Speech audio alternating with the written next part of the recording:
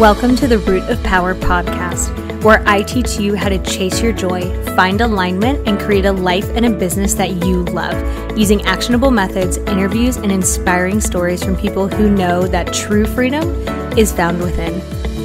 I'm your host, your always hype woman and sometimes ass kicker, Amanda Chils, and I am so proud of you for choosing to step into your power. Come along, we've got dreams to build.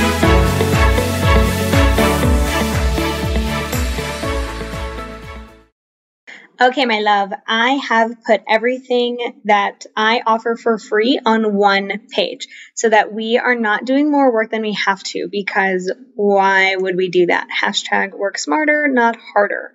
So livemyhappyhealth.com slash free. You are going to find everything I've created for not only leveling up in your personal life and building a life that you love, but leveling up in your business life and building a business that you love. Okay livemyhappyhealth.com slash free. Love you. Hi. Welcome to this week's episode. Oh, Kitty doesn't want to hang out anymore. I suppose he just hopped down.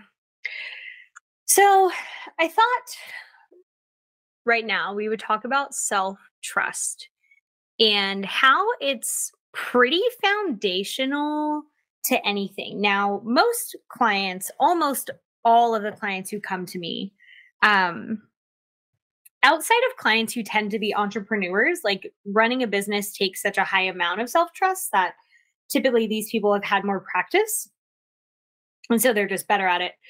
But the vast majority of my clients struggle with self-trust and you may be like amanda what do you mean by self-trust? I literally mean what the words say. The ability to trust yourself that you know the answer, that you'll follow through, that you'll do the right thing, right being whatever is right for you, not like right moral is in bad wrong. Um, that you can handle things, that you can do things, that you can withstand storms. Like all of those things come down to self trust.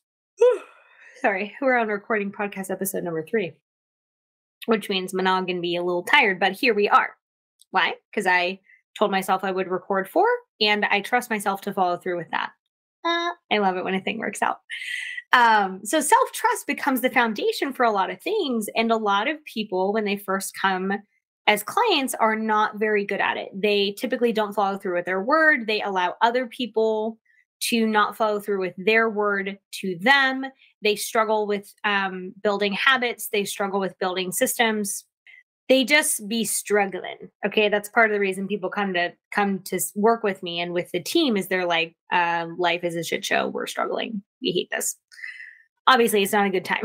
So one of the things that we work on throughout our work together is learning how to build self-trust. Now if you have a good therapist what they're going to do is turn every answer back on you. A lot of people think therapists give advice and then you do what they say, you get the results, and bing, bang, bada, boom, you are happy, life is good.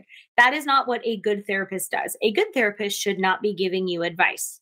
That is not our role. Why? Because I'm not the one who lives with the consequences.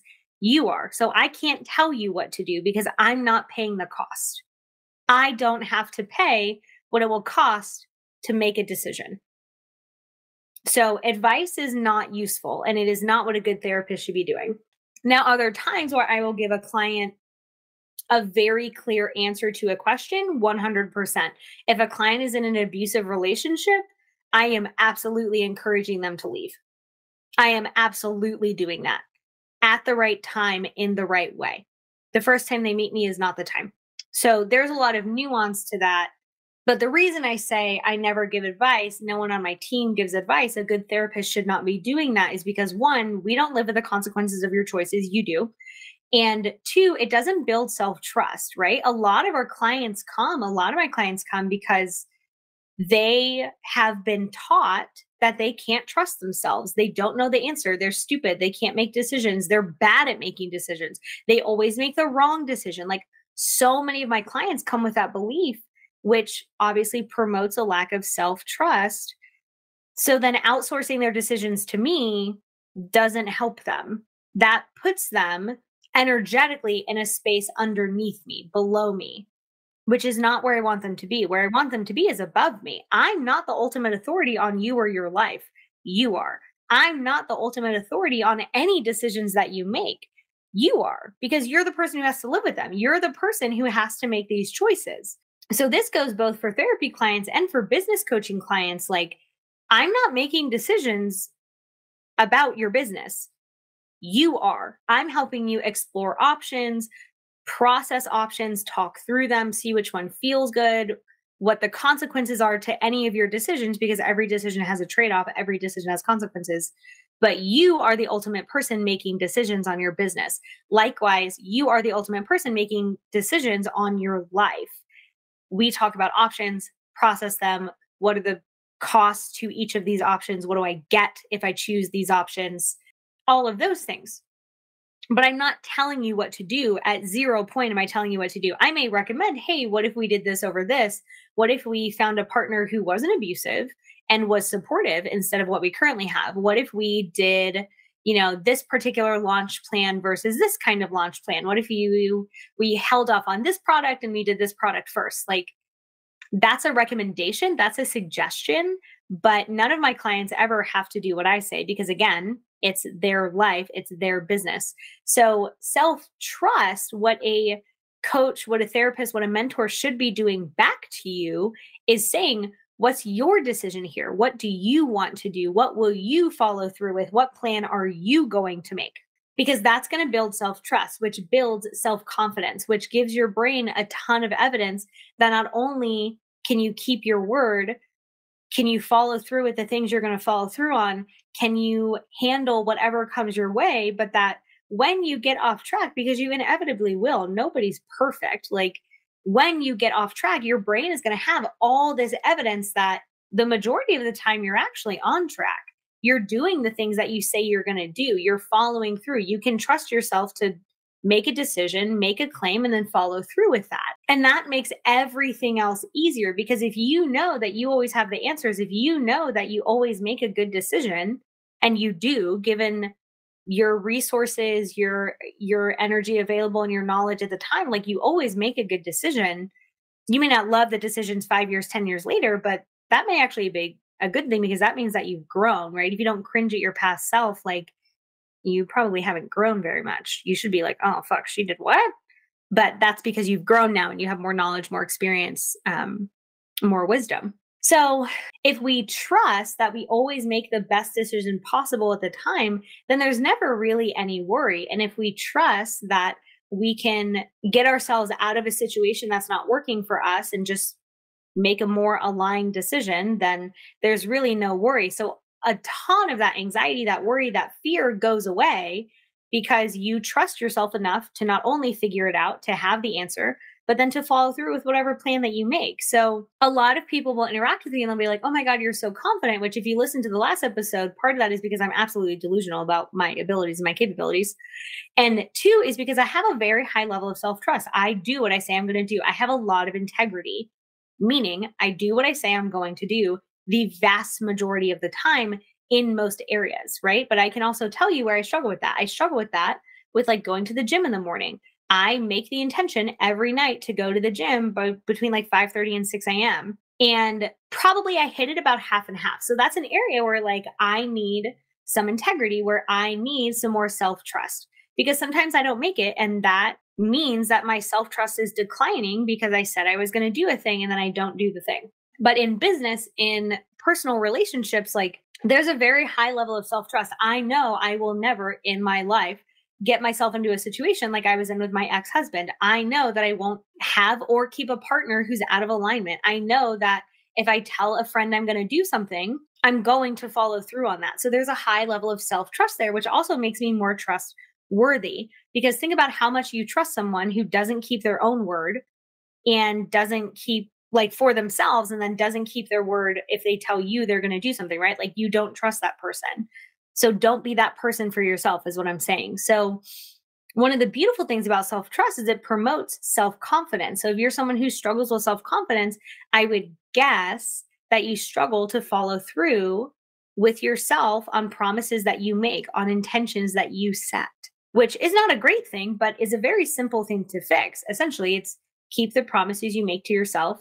Make sure those promises are realistic right don't it's like people who like want to lose weight and they're like i'm gonna i'm gonna do p90x and i'm gonna do um crossfit three times a day and i'm gonna follow a meal plan exactly. And they've never done any of those things in their life. They've never picked up a barbell.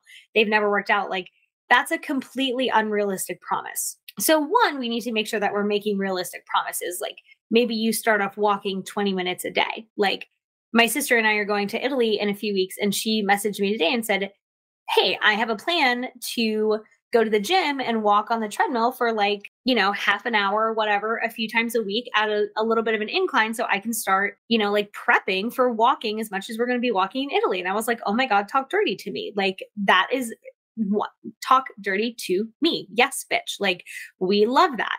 So when she follows through with that, she's going to start building self trust. She's going to start knowing that if she can handle these small promises to herself, she can handle bigger promises to herself. So once you have that foundation of saying, oh, well, I do these little things and I keep those promises, you're going to naturally grow that skill, right? Any skill that you start practicing, you naturally get better at. Self trust is just a skill as well. So I want you to think about like if you are someone who struggles with self-confidence, if you're like, well, I'll follow through on things for other people, but I never follow through on things for me, one, you're probably a people pleaser.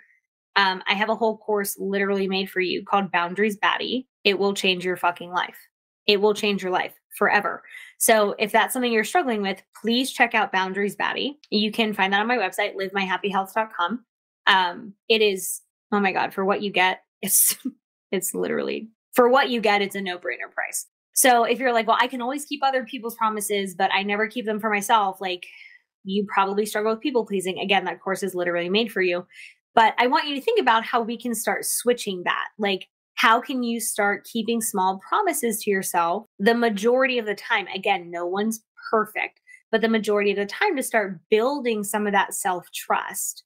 Start small. Start so small you think it's stupid. You're like, oh, of course I can do that. Amazing. Start there. Yes, please. Like, I am not going to start with let me um, build the Great Wall of China every day. That's a bad analogy. I'm not going to start with, let me, if I want to write a book, right? I don't know why this took so long to get there. But anyway, if I want to write a book, I'm not going to start with, I'm going to write a chapter a day. Oh my God. No, no.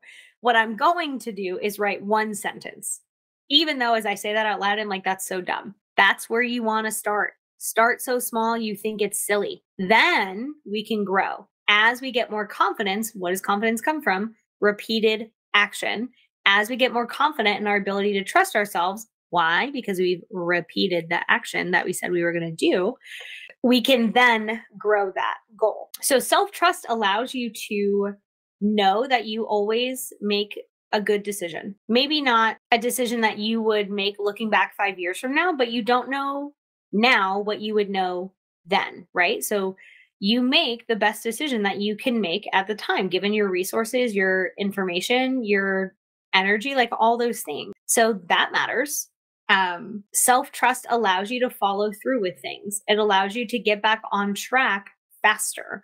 It allows you to tune out noise from other people who are giving you opinions, who are giving you feedback that may not even be useful for you. Because if you trust yourself, you don't need a bunch of other like noise. You don't need other people's opinions or advice because you trust yourself to make a good decision. So you're naturally going to make decisions that are much more in alignment with what you want, which means you're going to spend way less time making decisions that are things you think you should be doing. You're going to spend way less time making decisions that are made out of fear or that you that someone just told you you should do because that's what they did or that's what they think is best. Like when you have a high level of self-trust when you follow through with what you say you're going to do when you make intentional decisions you're going to make intentional decisions. Like they're going to be the best decision to make. So i want you to think about that. And like as a encouragement i would say homework but like you don't have to do anything that i say. Live your dream where can you start building some self trust? What is one action that you can take consistently? Doesn't have to be daily, but maybe once a week is not enough So, somewhere in there that proves to yourself that you do what you say you're going to do. Is that meditating for five minutes, three mornings a week, journaling for three minutes, you know, a few mornings a week, listening to a podcast every morning. Um, hi, I have a lot of episodes you can binge. Um, reading for 10 minutes a day. Like, again, so small that you think it's silly. So small that you think it's silly. Like a little baby mouse, small. We're like, oh, so cute, little baby mouse. Like that small. And then watch yourself bloom, blossom in this self trust. And then everything gets easier because you're not second guessing yourself every fucking step of the way. It's just such an exhausting way to live. I know because I walk tons of people through this exact process. So great. There you go. Start building self trust, make everything else easier. You are the ultimate authority in you. Like, nobody knows you better. Nobody knows what you need better. Nobody else lives with the consequences of your choices. So trust yourself to make the best decision for you to follow through. But again, that is a practice. So until you start practicing that, you just don't have evidence that it's true for you yet. But once you start practicing it, you'll have a ton of evidence that it's true for you. So I would love to hear your thoughts on this episode. Is this something that you struggle with? Are you like, nah, bitch, I have this in the bag? Um, let me know. I'm very interested. So holla at your girl. I would love that at Amanda underscore chils. And I hope that you intentionally choose something to build yourself trust with. Okay. Go have a absolutely beautiful day or night.